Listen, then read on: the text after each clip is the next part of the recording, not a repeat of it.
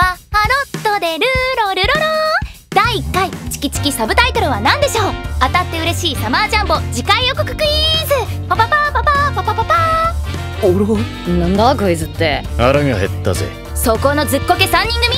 今日はあなたたちに問題を出します正解したら賞金100兆億円がもらえるのでものすごく頑張りましょおろろ。いくらだよ100兆億円って。金はいいから飯食わせろよ。うでは問題です「流浪に剣心」次回第7話のタイトルを次から選びなさい。1番「サムライ X 腹切りレボリューション」2番「伝説の美剣士現る」その名はドスコイ抜刀斎。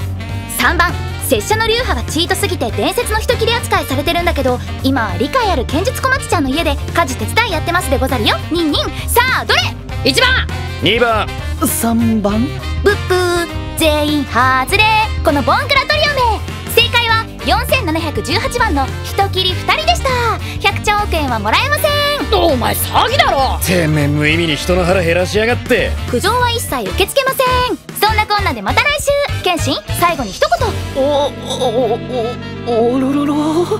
あなたそれ言っとけば落ちるなんて思ったら大間違いよ。すいません。マジすいません